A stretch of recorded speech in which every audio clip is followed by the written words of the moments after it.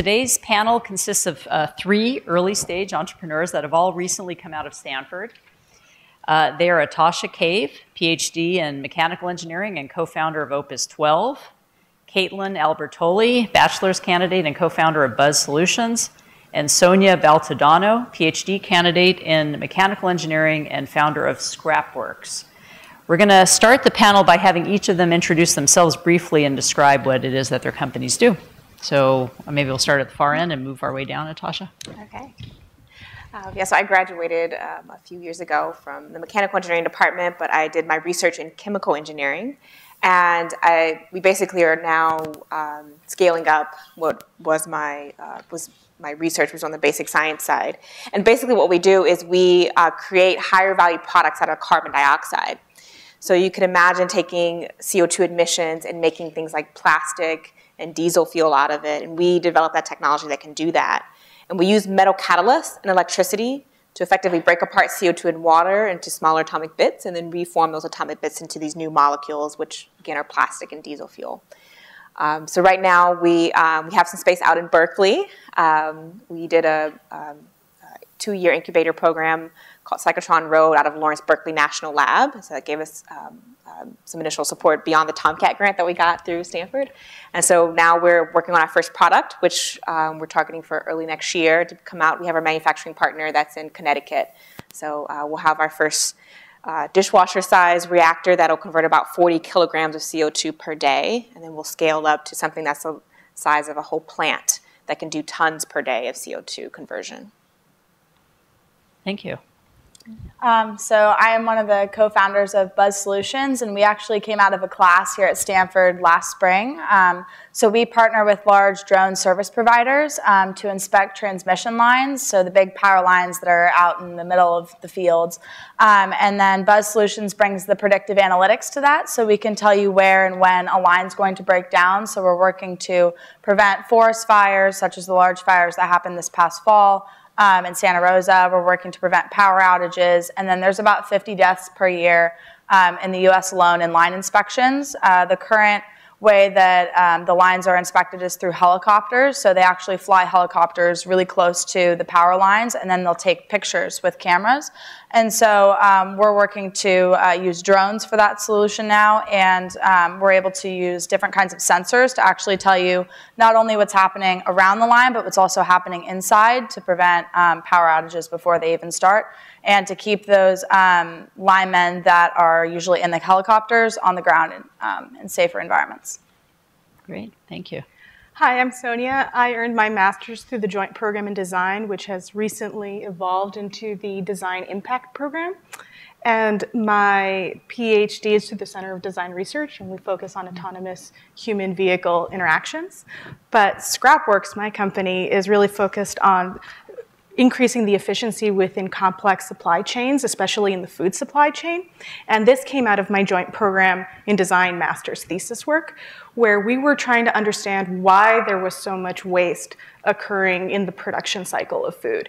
And one of the major reasons is because it's relying heavily on human intuition for a variety of reasons, mostly because people don't know how to leverage the the uh, data streams they already have available to them. And often those, whoa, those data streams uh, may not even be digitized. So what we do is we provide ways to ingest these data streams in a digital way that allow us to use predictive algorithms to also understand where the inefficiencies lie and how they can even run their innovation and strategy in, in such a way that production and demand are really meeting each other and they're not kind of scared that they're going to lose sales because they're not overproducing. Because that's always the, the thing that i've learned the food industry is really terrified of is that we prefer to have excess so that we can guarantee a sale. And so we're saying you don't have to have that make that choice anymore.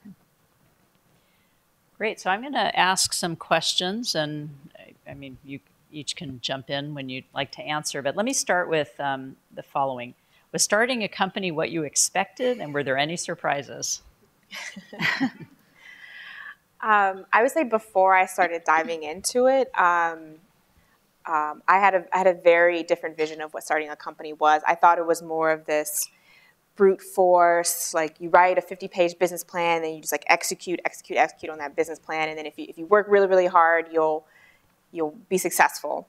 And in doing some of the entrepreneurship courses here at Stanford before I graduated, I realized that it's actually a lot more fun than that. Um, I think um, Joan mentioned this, the whole business model canvas and the lean startup. Um, you know, you're bringing design thinking into um, how you're how you're forming this entity and like being strategic about financing and about you know how you're going to hire people and build your team, and that can be really really fun and really creative. Um, and so um, I would say that was like has been a big surprise mm -hmm. for me as as well as I've, I've, moved along.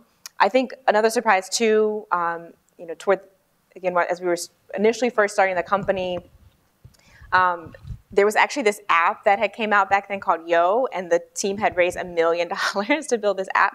So I kind of felt like, oh, well, this app can get a million dollars. We could easily get a million dollars from venture capital. We're actually doing something that's meaningful, you know. But um, but that was not quite the case. Um, we actually, because we only had idea, and because it was at the tail end of this massive clean tech funding, like this venture capital was not investing in clean tech anymore because of failures like Solyndra and that kind of stuff. And so it was it was really difficult to raise money in the kind of traditional way. So we had to go back to the drawing board and be more strategic. And so uh, leaning on philanthropic sources initially, then uh, going through government grants, and now recently we've been able to attract uh, private funding as we were starting to build our first commercial product, and we have that those financial cost models and the revenue showing that we can you know uh, be a profitable company.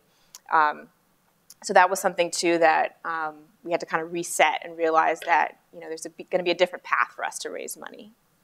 Great. Caitlin, do you want? To? Yeah, I think um, definitely was not what I expected either. Um, coming so coming out of a class here at Stanford, we launched. We had like our financial models built. We had our go-to-market strategy ready to go. Um, and then we actually found ourselves in this almost like a feedback loop. We were going after these customers and we were able to get our, our foot in the door to get meetings with them through our Stanford connections, but we didn't have a prototype ready.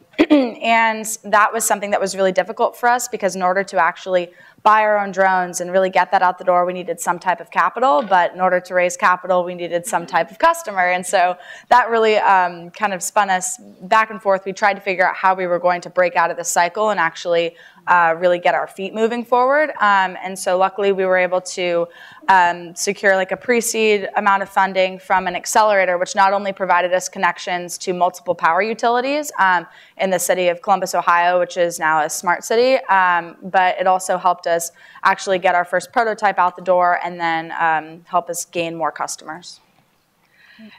Sonia. Likewise, I came from a program that was very focused on finding, in, in a way, product market fit, product uh, need fit, and realizing that's a very different thing to find product market fit and product funding fit.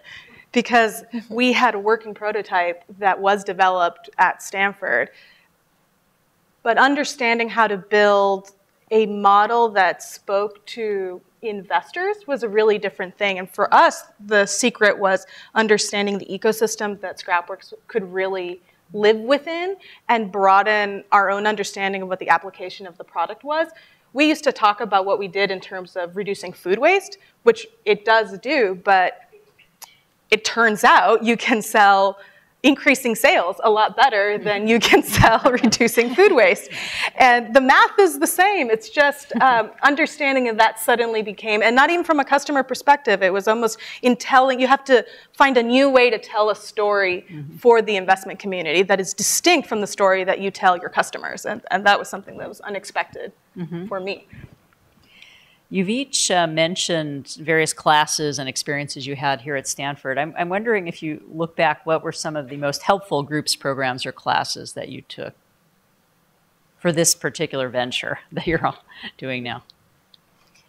Yeah, so I would say in terms of learning about entrepreneurship, I took the Lean Startup course that uh, Steve Blank taught, and that, that was uh, almost like a startup simulation. And the idea that we had during that class um, uh, did not end up moving forward at all, but it, it, was still a good way to, to see like building this business model canvas and like how do you de deploy um, a product and get and find a product market fit.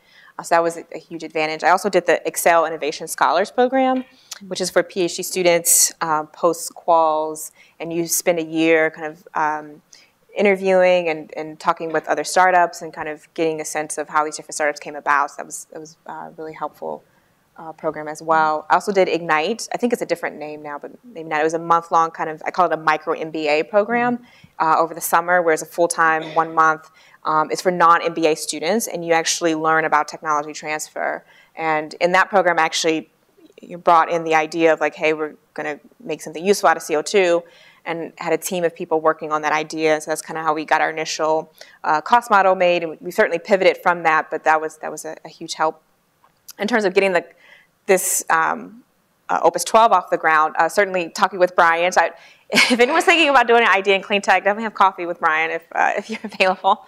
Uh, he was, uh, um, after a clean tech event here, I went and, and, spoke with him over coffee and I was like, hey, you know, I'm thinking about starting a company out of this idea. What do you think? And, and uh, Brian was super helpful and kind of encouraging me to put the team together and getting everything going. And then we eventually applied for a TomKat grant. That was our first uh, funding in four the idea, um, and then we, you know, got into Cyclotron Road after that.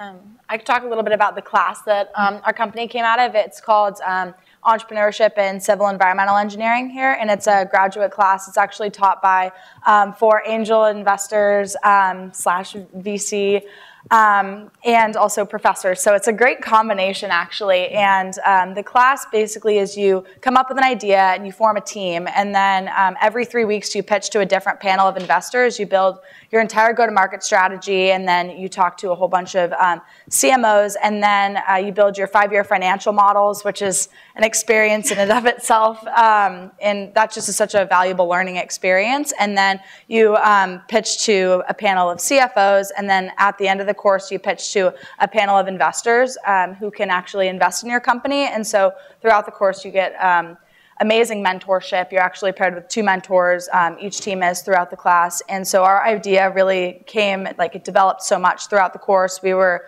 originally going to tackle the maintenance industry, and then found out that the um, the market wasn't quite there at the time, and so um, then we really pivoted, and that was through the help of the mentors and the professors in the class. And um, Stanford has just been incredible to give the um, resources and mentorship at such an early stage in the startup. Great. Okay. I, I also agree that part just the Stanford environment. There are so many people here that are really excited to help you explore what your dreams are and help you explore your own potential. Like I have never felt so supported as I have in this university. And people are okay with you changing your ideas and they're excited for your ideas to evolve so you don't have to like marry yourself to the one thing and then say like I'm going to be this and it's the only way to justify myself in these conversations. People are excited to see how you're changing. Practically speaking, I've been very tied to the D School. Uh, launch, lean Launchpad, I think was the official mm-hmm. term. Uh, they actually offer, offer office hours on, I believe it's on Tuesdays from three to five. You can look them up online throughout the year, and you can show up even if you're not planning on taking the class and say, hey, I've got this idea. What do you think? And they'll just give you this really quick feedback. It's not the last word or the first word, but it's a, it's a way that you can just sort of start exploring what, what you might want to do, how you might want to move forward. Um, the principles of quick iteration that Stanford espouses, I think is really helpful. And I've also found, I'm also a member of StartX, which is a program that is officially not Stanford, but it often has many Stanford students and Stanford affiliates inside of it. I highly recommend everyone to check it out, um, even just to come by and, and, get to know the resources that are available for you there. And there's a surprising amount of money at Stanford if you uh, that I just wasn't aware of it for like I think a good three years here. I didn't realize all of the financial support that was available for young seed stage kind of ideas or pre-seed stage ideas. Um, we were funded by the Stanford Green Fund grant. We are part of TomKat, and just between those two, it was really um, transformative to just have a little bit of money to start seeing an idea become real. Great, we like to hear that. so you, um, you've each spoken to suggestions on classes or activities here at Stanford. I, the last question, because we want to have time to bring everybody back up here for audience questions, is um, What words of advice would you give to somebody who was thinking of starting a company? Maybe we'll start with Sonia and go back the other way. Start early, fail fast, try again. Yeah, that's really good. um, I say take the chance because you'll never know until you try, and it's such an exciting opportunity to learn from a startup, and you just learn so much so quickly. So being able to just go for it, um, especially if you have the resources like a place here at Stanford does, then I would just say take the chance. I would say that team matters a lot. Um, I don't quite understand how solo founders do it. I, I um, I've leaned heavily on the, my other two co-founders, Kendra Kuhl, who I did my PhD with, and then Nicholas Flanders, who's in the business school here. Um, it's just been so helpful to have an amazing team in place. And so I would say um, if you're looking to find co-founders um, while you're at Stanford, it's a great time to do it. It's, it's going to be even harder once if you, once you leave Stanford and you don't have a co-founder. Um, you find someone, but find some way to work together on a meaningful project before you commit, because it's also you can um, think you have a great team and find out you don't once you really get into the thick of things. And so business plan competitions can be a great way to do that. Taking courses like the, um, I guess, Lean Launchpad, it's called, like, that's a very intensive situation where you're um, stim- simulating this, this startup. Um, and really get to know um, this person you're working with in the context of starting a company. Um, and then the, the team can matter so much. And then you have to you know, hire great people outside of that. But starting with that core um, founding team is really, really important. So I would say. Snaps to that one. Yeah. That's a great answer. All right, wonderful. Let's uh, thank this panel before we.